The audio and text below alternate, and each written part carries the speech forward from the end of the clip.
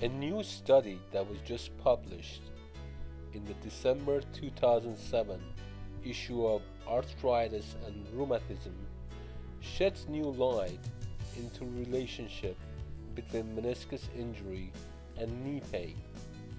The study shows that the damage to the meniscus is sometimes associated with knee osteoarthritis, but it does not directly provoke pain, aching, or stiffness.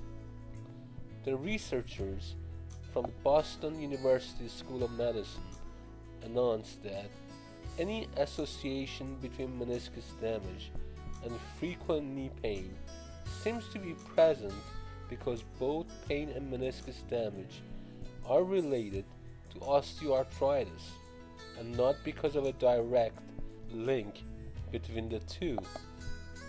For this study, the researchers looked at a total of 110 people that had signs of knee osteoarthritis or were at high risk of developing osteoarthritis of the knee.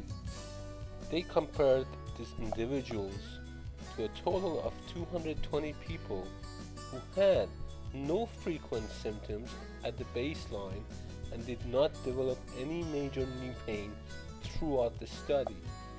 At the start of the study, meniscus damage was detected in 38% of case group and 29% of control group. Meniscus damage was more common in the knees that had been operated or suffered serious injuries in the past. This is an exciting study which confirms my observations over the past few years. Patients who have severe knee pain and their MRI shows only minimal to moderate meniscus damage. And then there are patients who have minimal knee pain with a severe damage on the MRI.